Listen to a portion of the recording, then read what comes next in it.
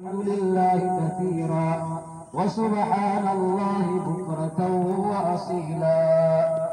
الحمد لله الذي بنعمته تتم الصالحات وبفضله ورحمته تفرح المخلوقات.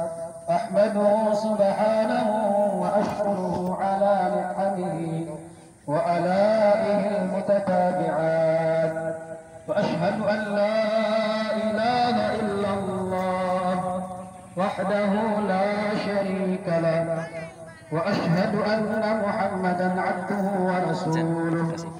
أشهد أن لا إله إلا الله وحده لا شريك له. في الربوبية وال- و- وألوهية والأسماء والصفات. وأشهد أن محمدا عبده ورسوله. أرسله الله رحمة للعالمين. وقدوة للسالكين اللهم صل وسلم على عبدك ورسولك محمد وعلى آله وصحبه ومن اهتدى ومن اهتدى بهديه وعمل بسنة إلى يوم الدين. أما بعد قال الله تبارك وتعالى بعد أعوذ بالله من الشيطان الرجيم. بسم الله الرحمن الرحيم. يا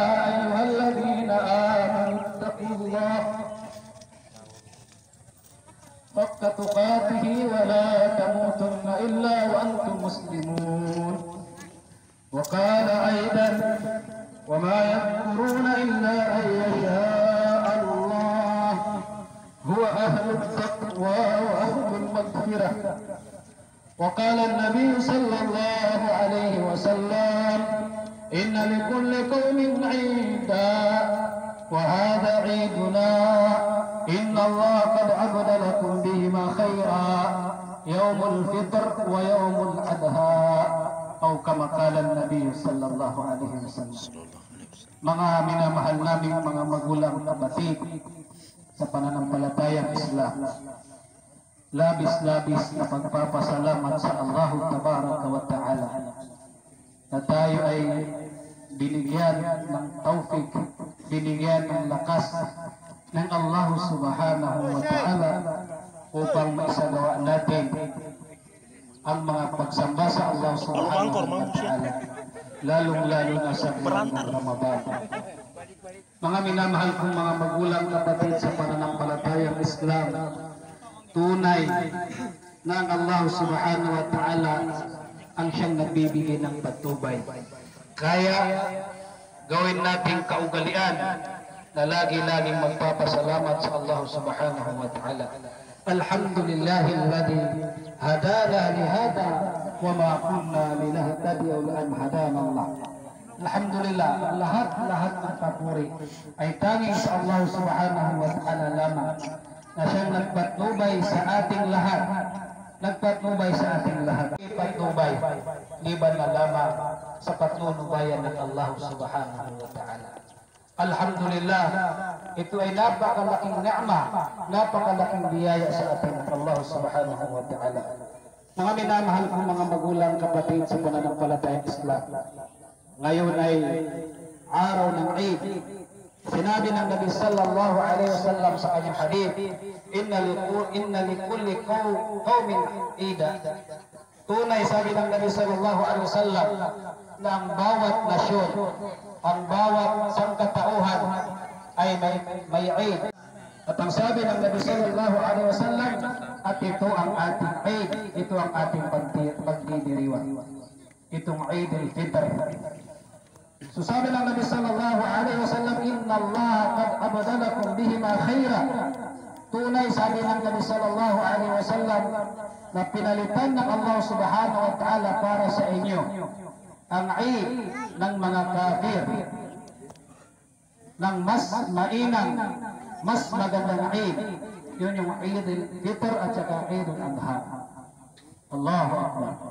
Sa mga, mga, mga magulang kapatid sa pananampalatayang Islam, ako, kayo, lahat tayo, bata, matanda, lalaki babae, sa araw na ito kailangan ay maipakita natin sa Allah subhanahu wa ta'ala at tayo ay labis na nagagalak, labis na masayang masaya dahil sa pagkaraan ng ating pagsisikap sa buwan ng Ramadan. Dahil sa pagsisikap natin sa buwan ng Ramadan sa pamamagitan ng pag-aayuno at pagtatayo ng mga qiyamul layl, mga tarawih at mga tahajjud at iba pang klase ng ibadat. Allahu Akbar. Ito ay napakalaking ni'ma, biyaya sa atin ng Allah Subhanahu wa Ta'ala. Mga magulang kapatid sa pananampalatayang Islam, sa panahon natin o sa oras na ito, ang mga kalangitan, kalupaan, itong dunya ay labis, labis na napakasaya nila. Allah Akbar. Pati ang araw at ang sidat ng araw ay labis, labis na nasisiya sa mga araw na ito. Dahil lamang sa mga taong nagsasagawa ng pagsisikap sa buwan ng Ramadan, nag-ayuno sila, tiniis nila ang hindi pagkain, pag-inom, alang-alang lamang sa pag-ita at pagsunod sa Allah subhanahu wa ta'ala. Gaya na lamang sa pagkakasabi ng Allah subhanahu wa ta'ala, Ya ayuhalladina, Ya ayuhalladina amanu, kutiba alaykumus siyam, kama kutiba alal ladina min qablikum la'allakum tattaqun. Allah kung saan inutos ng Allah subhanahu wa ta'ala sa mga mananampalataya ng mga sinaunang tao ang pag-aayon ay kahalintulad din ang pag-aayon natin ngayon sa layuning tayo, ako, kayo ay magkameron, magkamiti ng sinasabing takwa, takot sa Allah subhanahu wa ta'ala. Ito ang isa sa mga layunin, ito ang ha, wisdom ng pag-aayon sa buwan ng Ramadan na ang, ang bawat isa sa atin ay magkameron ng takot sa Allah subhanahu wa ta'ala. Allahu Akbar. So kaya mga magulang kapatid sa pananampalatayang Islam, sabi ng Allah subhanahu wa ta'ala sa Quran, Ya ayyuhalladina amanu taqullah haqqa tuqatihi. O kayong mga mananampalataya, sabi ng Allah subhanahu wa ta'ala, matakot kayo sa Allah ng tunay na pagkatakot. Dahil mga magulang kapatid, wala nang ibang karapat dapat katakutan maliban lamang sa Allah subhanahu wa ta'ala. At sapat na para ang Allah subhanahu wa ta'ala ay magkaloob sa atin, maggawad sa atin ng kanyang kapatawaran. Allah ya Rabbal Alamin.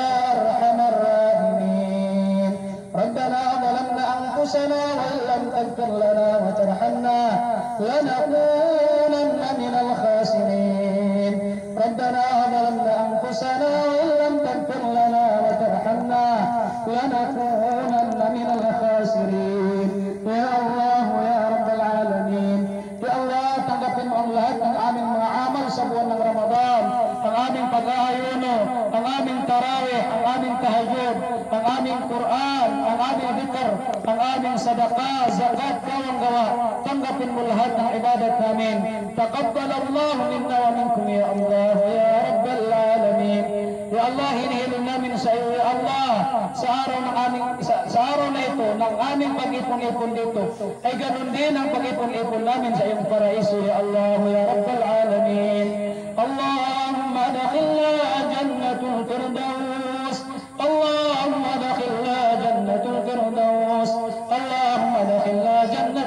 الفردوس يا الله يا رب العالمين.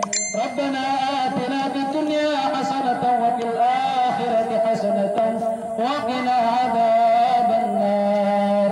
وقنا عذاب النار. وقنا عذاب النار. وصلى الله تعالى على خير